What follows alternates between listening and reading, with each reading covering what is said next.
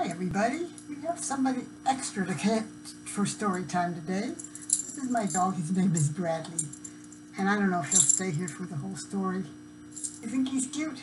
I think he's pretty cute. He looks a lot bigger than I am because he's closer to the camera than I am. He's a little dog. He's on my lap. Now I have to tell you, I am learning still about how to hold the book so it doesn't so that you can see it and I can too. And Bradley's having trouble getting comfortable. And I notice it makes a lot of noise when I turn the pages. But just like everybody else, old people have things to learn too. What do you think about those ears? Aren't they funny? We'll see if this works. Maybe it won't. It may have an interruption. We'll see.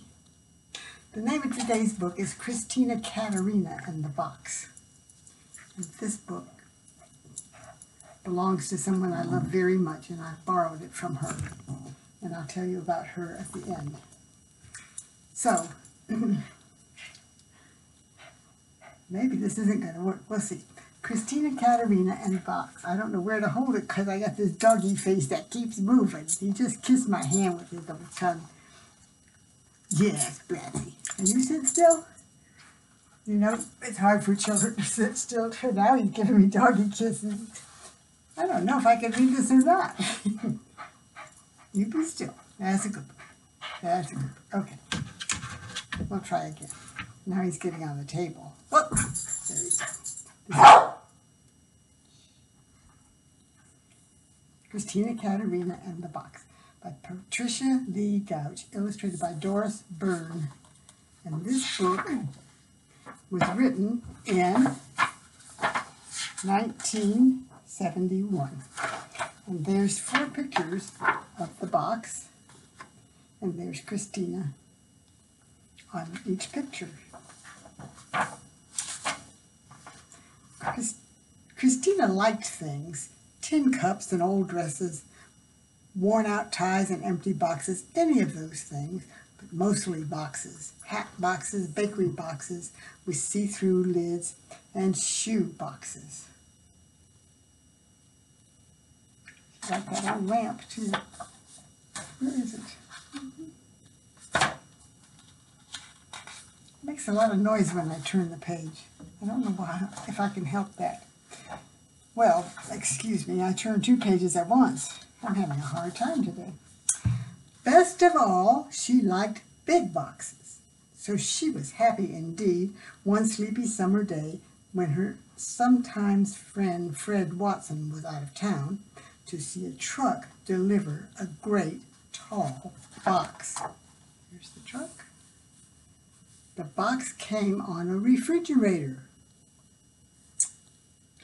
Oh, how grand and new, Christina's mother said, looking at the refrigerator.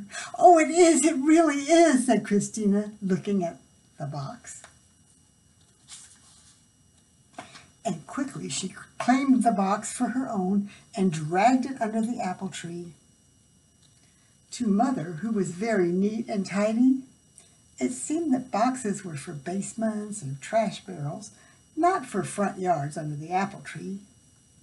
But she decided that it couldn't hurt, it couldn't possibly hurt, for one day or two to have the big box in the front yard right there under the apple tree.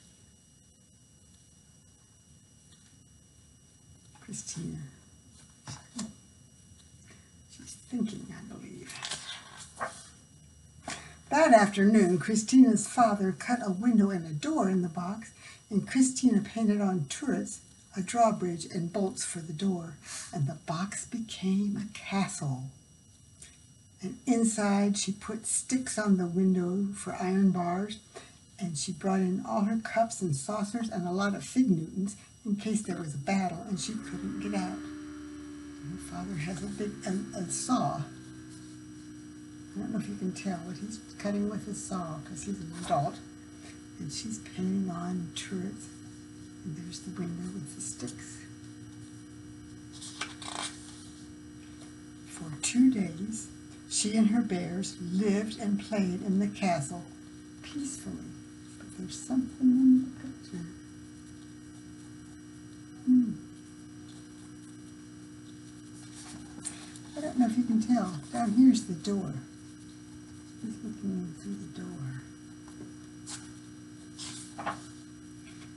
Until Fred Watson came home and sneaked into her castle when she was out to lunch and ate all her fig Newtons, and she locked him in until he hollered, I'm sorry, 15 times.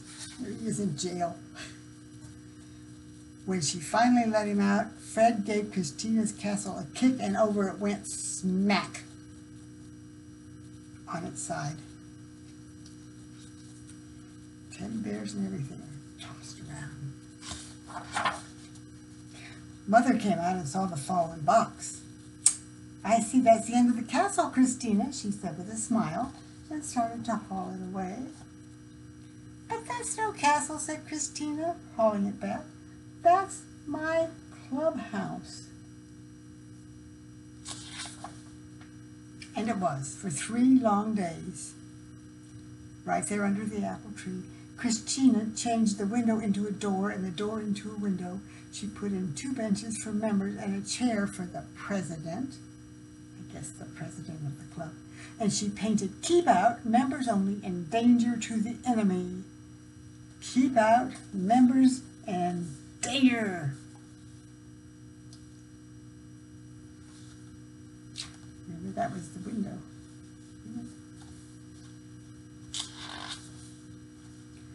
And she let Fred join.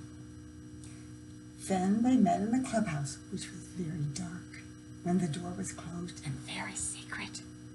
And they spit on a nickel and swore to be friends forever, and they were. There she is in her president's hat. There's Fred looking out.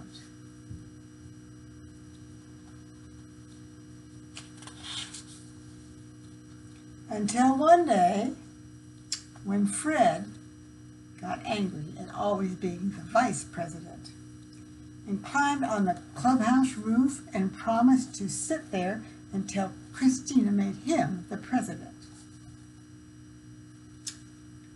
Only the roof caved in first and Christina disbanded the club. She walked away.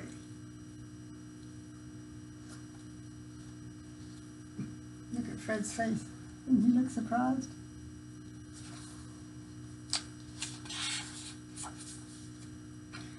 When Mother saw the satin box, she brushed her hands together. Now she would have her nice, neat yard. Well, she said, that is the end of the clubhouse, and she tugged it toward the street. But that's no clubhouse, says Christina, tugging it back again.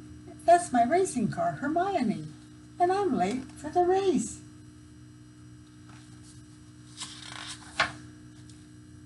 Before speeding off, Christina put the top on the bottom and turned the window into a cockpit, and on the sides painted two magnificent curling silver horns, which she blasted at Fred every time she rounded the apple tree.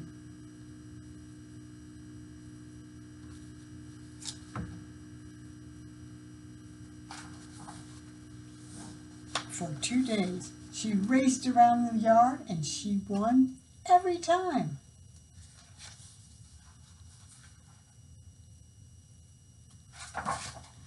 Until Fat said he'd take a look at the motor, that it didn't sound quite right.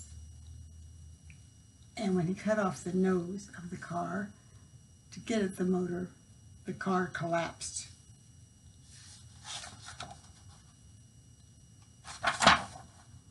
Christina's mother was relieved.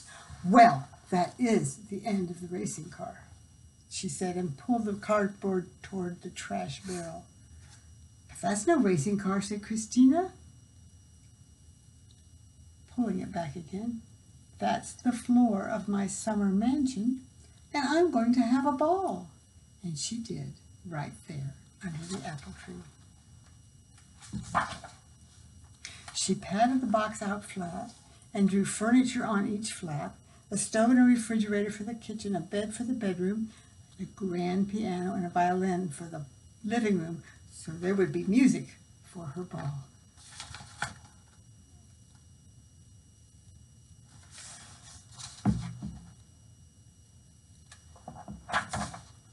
Then she and her bears and Fred got dressed up in gowns and high heels, and they invited kings and queens and some presidents and even one vice president to come. And everybody came and they danced and danced till their feet hurt and they had to take off their shoes.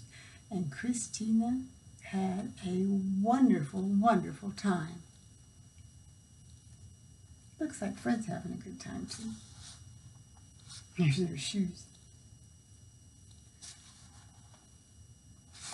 And the bear has a king's crown on. Pictures are a lot of fun in this book. They're having a wonderful time until Fred decided the floor needed scrubbing and he sprayed it down with a garden hose and mopped it until the floor puckered and grew lumpy and fell apart. Look at their faces. Can you see them?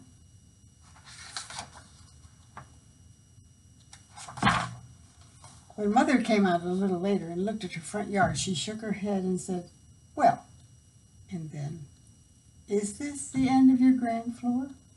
What floor? said Christina, who was running by. Oh, you mean that ragged old box? Let's throw that away. Mother breathed a sigh. At last she could have her nice, neat yard.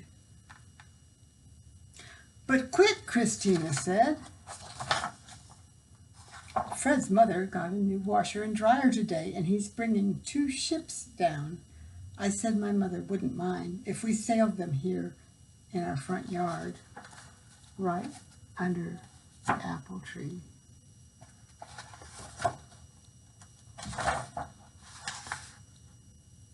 And that's the end. Or maybe that's the beginning.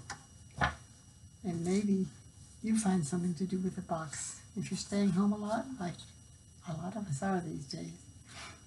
Every time I come and read to you, I do something a little different. And I think I need a lamp over here because it's a little dark on that side. So I'll do something different next time you watch for it. This book belonged to someone named Valerie, who is my daughter, and who was my little girl when she got this book, but she's a grown-up woman now. And thank you, Valerie, for sharing your book with all of us. And thank you all for sharing some time with me. I hope you enjoyed this book. I loved reading it to you. Bye. Throw a kiss. Mwah.